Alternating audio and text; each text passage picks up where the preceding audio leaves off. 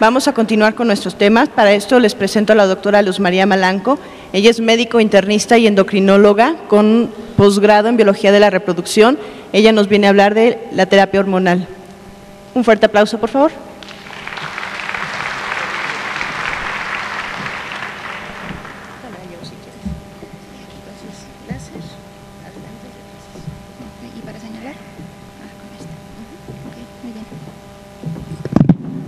Buenos días, buenas tardes a todos. La invitación que me hicieron fue para hablarles sobre si existe alguna controversia en la terapia hormonal en aquella mujer que tiene síndrome metabólico. Y sabemos, bueno, que de acuerdo a las estadísticas proporcionadas por las encuestas nacionales de salud, pues el porcentaje de mujeres que llegan a la menopausia con obesidad, con alteraciones en los lípidos, con hipertensión arterial pues cada vez es mayor y si tomamos en cuenta o a eso agregamos los cambios propios de la posmenopausia, pues se incrementa la incidencia. Entonces, podríamos plantearnos las siguientes preguntas. Primero, si debemos tratar el síndrome climatérico en el síndrome metabólico. Después, si existen algunas otras opciones, aparte de los tratamientos clásicamente establecidos de estrógenos, y o combinados con progestina para aquella mujer que tiene útero. Y finalmente, pues cuáles son los riesgos y beneficios del uso de estrógenos más progestinas en la peri y en la posmenopausia. Sabemos también que estas, estos riesgos han sido ampliamente estudiados en diversas cortes de pacientes a lo largo de los últimos 30 años. Entonces, pues actualmente tenemos evidencia un poquito más clara de qué es lo mejor para una mujer que requiere tratamiento para la sintomatología vasomotora. Entonces, bueno, pues tenemos aquella mujer en donde si tiene suerte y no, y no pasa nada, pues puede tener un climaterio sin complicaciones y pues obviamente tratándose de menor incidencia de enfermedades o complicaciones cardiovasculares y pues vamos a ver también que esto, si empieza sana entrando a la menopausia, pues obviamente también la mortalidad va a ser menor. Entonces, tenemos que estudios transversales y longitudinales han demostrado que después de la menopausia hay un aumento de aproximadamente 6 al 25% del colesterol total de un 11 a un 20% de, de la concentración de lipoproteínas de baja densidad y de un 9 a un 11% de los triglicéridos. A esto eh, se asocia obviamente pues a, a, la falta de estrógenos. La mujer cae en un estado de hipoestrogenemia, que modifica también la estructura de las lipoproteínas de baja densidad. Sabemos que las hace más pequeñas y densas y por lo tanto susceptibles a la oxidación y pues a la formación o si ya antes está, está establecida la placa aterosclerótica, pues a mayor desarrollo de esta. Además, las mujeres obesas que llegan a la menopausia pues y que tienen resistencia a la insulina o antecedente de hiperlipidemias primarias presentan más cambios con la deprivación estrogénica y con la sustitución de estrógenos, como vamos a ver más adelante según las evidencias de diferentes estudios. Esta tabla se las quise poner para que ustedes observaran las concentraciones eh, de los principales tipos de estrógenos que hay en la sangre, sobre todo el estradiol, y vean cómo su concentración baja de 35 a 500 picogramos por mililitro que tenemos durante la etapa reproductiva y obviamente dependiendo de la fase del ciclo menstrual, a cómo disminuyen en la posmenopausia entre 13 y 18 picogramos por mililitro con una tasa de producción también disminuida y una depuración metabólica también disminuida sobre todo del estradiol, que es el principal estrógeno que eh, eh, se presenta en la etapa reproductiva. Podemos ver también cómo las concentraciones de estrona disminuyen, eh, aunque bueno, sigue, si ustedes comparan las concentraciones de estradiol en la posmenopausia con las concentraciones de estrona en la posmenopausia, son mayores, por eso se dice que el principal estrógeno en la menopausia es la estrona. Y asimismo, las concentraciones de testosterona tienen cierta disminución también y las, de androstendiona también. Entonces, porque si no prevenimos, si no proporcionamos una buena atención médica y si no fomentamos un estilo de vida saludable y cambios en los hábitos de vida, ¿qué tenemos? Pues un climaterio con complicaciones, aquella mujer que no recibe atención médica, una mayor incidencia de enfermedades, incluidas pues todas las del síndrome metabólico, diabetes, eh, hipertensión, dislipidemia y además también mayor riesgo obviamente de hiperplasia endometrial, cáncer de endometrio, cervicouterino, cáncer de mama, obesidad, los trastornos psicosexuales asociados a la menopausia, la osteoporosis, las enfermedades cardiovasculares y las enfermedades uroginecológicas. Y a diferencia de la imagen previa que les presenté, si ustedes recuerdan, decía menor mortalidad en aquellas mujeres menores de 40 años, que obviamente si partimos de una mujer que no es sana, pues la mortalidad se va a incrementar. Así entonces, nosotros identificando los factores de riesgo y en el tema que nos compete en este momento, pues tenemos como principal factor de riesgo los cardiovasculares, que son a los que nos vamos a dirigir, no tanto a los riesgos demostrados o beneficios demostrados de la terapia hormonal, de la osteoporosis, del cáncer de mama y del cáncer de endometrio.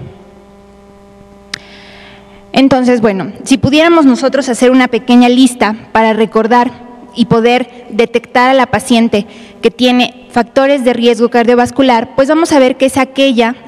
mujer mayor de los 55 años, recordando que en México la edad de presentación de la menopausia, es decir, de la última menstruación, suele presentarse a los, entre los 49, 48, 50 años, un poquito antes de lo que se reporta en la literatura extranjera, sobre todo países europeos, por ejemplo, donde se llega a presentar un poquito más tarde. El tabaquismo, obviamente, el sedentarismo, los antecedentes de enfermedades cardiovasculares, la hipertensión, la diabetes, la dislipidemia, los antecedentes de cardiopatía isquémica y, bueno, la menopausia prematura, que aquí ahorita les voy a mencionar más o menos cuál es la diferencia entre los términos para que no los confundan. Y bueno, pues aquellos factores de riesgo que podemos modificar y que debemos tener también presentes como médicos al momento de elegir a aquella candidata a recibir terapia hormonal, pues son la presencia de la menopausia prematura quirúrgica a aquellas mujeres sometidas a histerectomía, en donde aunque les dejen los ovarios, pues la podemos considerar como una posmenopausia quirúrgica. Finalmente los ovarios van a dejar de funcionar a la edad normal, a los 50 años, la deficiencia de estrógenos, aquellas mujeres con falla ovárica prematura o aquellas mujeres que han sido sometidas a tratamiento antineoplásico, quimioterapia o radioterapia y que obviamente pues tienen daño a órgano blanco, el sedentarismo, una dieta deficiente o el tabaquismo el alcoholismo, el uso prolongado de corticosteroides y bueno, en lo que a mí me compete como endocrinóloga, pues descartar eh, patologías presentes. Y a ustedes también como médicos generales e internistas, el hipertiroidismo, que sabemos que les condiciona mayor riesgo de osteoporosis, el hiperpara, la resección gástrica, aquellas mujeres de cirugía bariátrica, la acromegalia, la insuficiencia suprarrenal, la hiperprolactinemia y el hipercortisolismo, que obviamente todas ellas les aumentan el riesgo de enfermedades cardiovascular. Y por ejemplo, la acromegalia, pues sabemos que la principal causa de muerte son las enfermedades cardiovasculares. Entonces, las indicaciones que podemos así también como tener en mente al momento de nosotros ver a una paciente en la consulta, de primera vez aquella mujer que nos llega con sintomatología vasomotora o con sintomatología urogenital importante y de intensidad eh, que incluso las discapacita para realizar sus actividades diarias, pues primero realizar la, la correcta selección de la paciente. Y como dice aquí, esto es muy importante y me gustaría que lo recuerden, la principal indicación para el tratamiento en la menopausia es el síndrome climatérico, mal llamado síndrome climatérico, es la sintomatología vasomotora, definida en frecuencia e intensidad. Aquella mujer con una frecuencia de sintomatología vasomotora o los bochornos como tal llamados o los hot flushes en los artículos, es aquella que presenta hasta más de 70 de estos episodios en una semana o más de siete al día y que además se acompañan de discapacidad. ¿sí? Eh, valorar obviamente el riesgo-beneficio de la terapia, valorar las contraindicaciones que pueda tener la paciente que ahorita vamos a ver y los efectos adversos de la terapia, no usar terapia hormonal como, riesgo, como prevención de riesgo cardiovascular y esto también es muy importante que lo recuerden porque no es una indicación y actualmente está comprobado que nosotros iniciemos terapia hormonal a manera de protección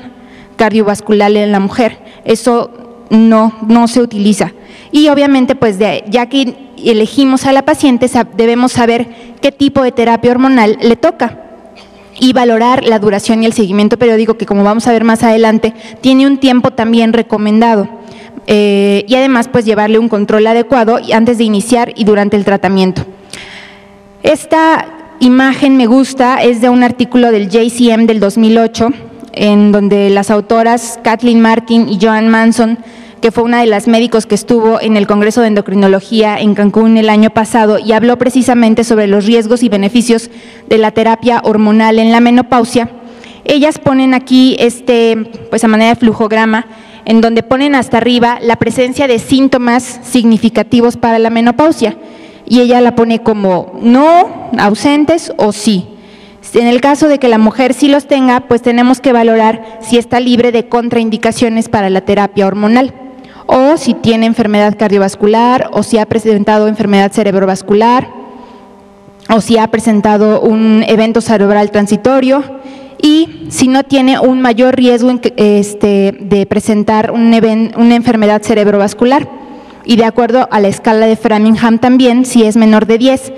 Si está libre de contraindicaciones, su riesgo Framingham es menor de 10, podemos entonces evaluar el riesgo cardiovascular, los años de, que lleva la paciente después de haber presentado su menopausia y entonces elegir la terapia hormonal. En el caso de que no esté libre de contraindicaciones y tenga un mayor del 10% del riesgo de Framingham, pues la terapia hormonal no estará indicada. Así podemos ver también cómo Ustedes pueden ver, el, este es el riesgo cardiovascular a través de los 10 años, de acuerdo a la escala de Framingham y en la línea horizontal la evaluación del riesgo cardiovascular y los años que han pasado después del último periodo menstrual. Entonces, las zonas negras pues son aquellas en donde no se eh, aconseja la terapia y las zonas blancas son, por ejemplo, en donde el riesgo es muy bajo, donde la terapia hormonal está indicada, si el riesgo es menor a 5 o si está entre 5 y 10, y si es un moderado, entre 10 y un 20%, se prefiere la dosis transdérmica, porque como ya lo vimos, a diferencia de las composiciones de los estrógenos para la anticoncepción, en donde vemos que la vía transdérmica tiene adecuadas concentraciones plasmáticas y alcanza obviamente el efecto anovulatorio, a su inversa las presentaciones que se utilizan para la terapia hormonal pues no son eh, tan son menores en cuanto a las concentraciones que alcanzan a nivel sistémico, pero alcanzan a disminuir la sintomatología vasomotora. Y ya que elegimos nosotros darle terapia a la mujer, pues tenemos que ver entonces cuál le damos. Si le damos una terapia continua, solamente con estrógenos, o le vamos a dar una terapia combinada, y si la combinada va a ser cíclica o va a ser secuencial, si vamos a utilizar estrógenos solamente, o los estrógenos más progestina, o los estrógenos más los andrógenos, cuáles son las condiciones clínicas de la paciente, obviamente si tiene útero o no tiene útero, si le vamos a dar dosis bajas o dosis convencionales, la vía de administración, que bueno, intranasal no hay aquí en México, pero la transdérmica intramuscular sí, y eh, de acuerdo a su origen, si es sintético, si es animal como los estrógenos equinos conjugados tradicionalmente usados, o si son los fitoestrógenos. Ustedes saben que los fitoestrógenos son eh, moléculas no esteroideas, que tienen un anillo fenólico y gracias a ese anillo fenólico les permite actuar como agonistas en el receptor de estrógenos. Entonces, aunque se ha visto en, diversos estudios que el efecto placebo y el efecto de los fitoestrógenos puede ser equivalente, las mujeres que utilizan fitoestrógenos sí pueden llegar a tener cierto efecto de estimulación y sobre todo el peligro que vemos en las presentaciones estas del, bueno, que contienen simisifuga racemosa, las isoflavonas, es que no sabemos exactamente qué cantidad de estrógenos le estamos metiendo a una mujer en una de esas presentaciones. Por eso hay que tener mucho cuidado y como no es tan, tan o sea, no, no es la mejor recomendación. Entonces, en cuanto a las contraindicaciones absolutas de la terapia hormonal, pues tenemos, esta es una preliminar, al rato les voy a presentar una final, en donde pues la hemorragia vaginal inexplicada, la hepatopatía activa, la, trombombolia venosa, la cardiopatía isquémica y los antecedentes de carcinoma endometrial o de SEAM de mama actual pues serían las absolutas y las relativas, la hipertrigliceridemia, sobre todo si es arriba de 400 miligramos por decilitro y las enfermedades litiásicas vesiculares activas. Y en cuanto a los términos, solamente me gustaría que recordaran y con base al STRAU, que es este también del mismo artículo del JCM, en donde nos eh, representa los estadios del Reproductive Aging Workshop Staging System Stages, en donde si ustedes pueden ver, en la parte de hasta arriba viene numerado menos 5, menos 4, menos 3, menos 2, menos 1, 0, que es el momento del último periodo menstrual, más 1 y más 2. Estos, el 5, 4 y 3, corresponden a la etapa reproductiva, cuando los ciclos de las mujeres sanas son regulares y su sangrado también suele ser regular. La duración del periodo pues es variable porque va a depender de cada mujer y eh, generalmente los ciclos son regulares y las concentraciones de FSH se encuentran pues entre normales y ligeramente elevadas. Cuando la mujer entra en la transición menopausia es cuando nosotros podemos empezar la terapia hormonal en el caso de que la mujer lo requiera y la definimos como una transición menopáusica temprana y una tardía. La temprana, aquella en donde los ciclos pueden seguir regulares, pero suelen eh, durar un poco más de siete días, o aquella tardía, en donde los ciclos empiezan a ser espaciados. Y aquí, si le cuantificáramos a la mujer una FSH, pues estaría un poquito más alta. Aunque también les recuerdo que la cuantificación de la FSH en una mujer que no tiene alguna patología como una falla bárica prematura no nos sirve como tal para, para poderle decir, sí, señora, ya está usted en la menopausia. Solamente el periodo menstrual y que hayan pasado los 12 meses de amenorrea es lo que nos puede a nosotros decir que la mujer efectivamente está entrando en la menopausia. Y de ahí tenemos la posmenopausia temprana, los primeros cinco años, y la posmenopausia tardía, que equivale a los siguientes años. Este otro, este otro eh, imagen en donde podemos ver cómo la mayoría de los estudios de tipo observacional hechos en los primeros años de la menopausia, es decir, en la posmenopausia temprana, han visto aparentemente un efecto favorable sobre los lípidos y los, este, en el endotelio a través del uso de los exógenos, de los estrógenos exógenos, y como en los años posteriores estudios de intervención de primera y segunda para eh, como prevención primaria y secundaria pues al contrario, han visto un efecto adverso en el inicio de los estrógenos exógenos y sobre todo también después de los 10 años de haber pasado la menopausia. Así, pues bueno, nada más recordando cuáles son los criterios que se utilizan para el síndrome metabólico, que ustedes ya muy bien conocen y que los han visto en diversas de estas pláticas, me imagino. Vemos entonces cómo estudios experimentales y observacionales han demostrado variabilidad en el riesgo cardiovascular según el momento desde la instauración de la menopausia, sobre todo los observacionales. Este estudio, el NHS, eh, observó un riesgo que puede estar presente durante los primeros tres años de uso en mujeres que empiezan la terapia hormonal, dentro de los primeros diez años de la menopausia. Sin embargo, pues fue un estudio observacional. Y en cuanto a la cardiopatía isquémica o el ictus, en las últimas tres décadas los estudios observacionales sugieren que el uso de estrógenos disminuye en 35 a 50% la frecuencia de cardiopatía coronaria en la mujer posmenopáusica, pero ojo, han sido estudios observacionales. Por lo tanto, eh,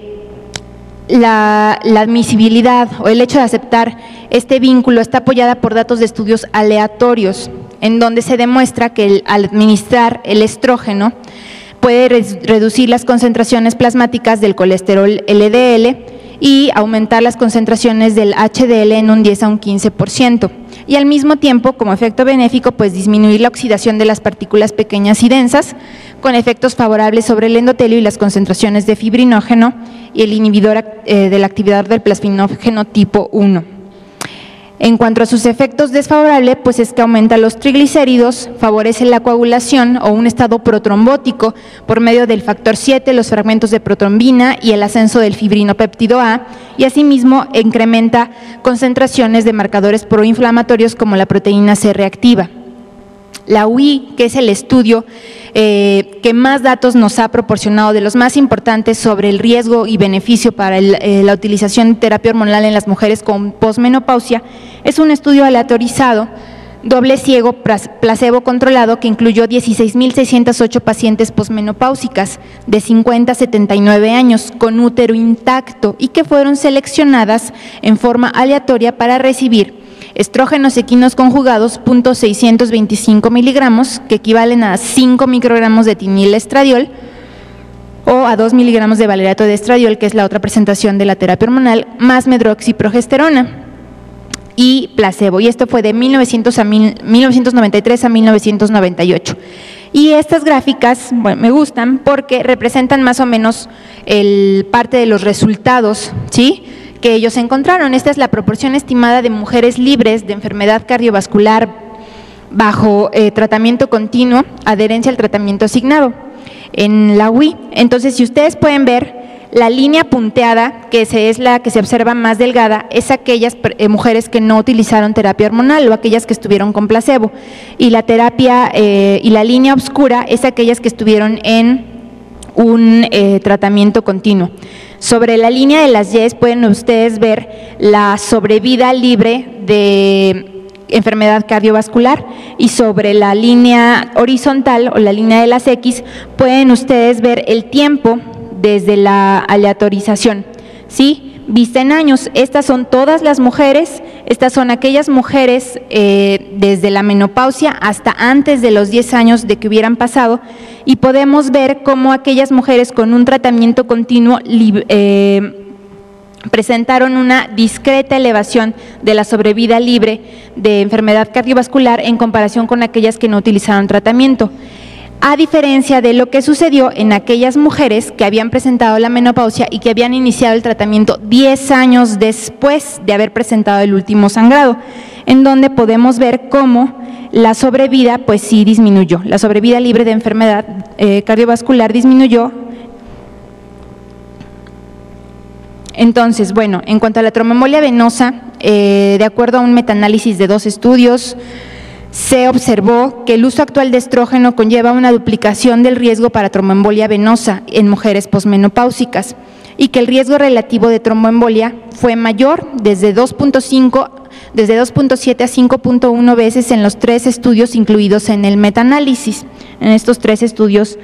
eh, aleatorios, y que los resultados de la UI indican un aumento del doble en el riesgo para tromboembolia venosa y tromboembolia pulmonar para que esto lo recuerden.